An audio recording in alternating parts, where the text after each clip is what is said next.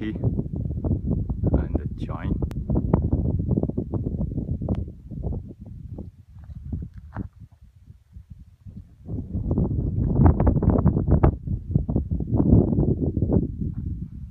This is where we came from.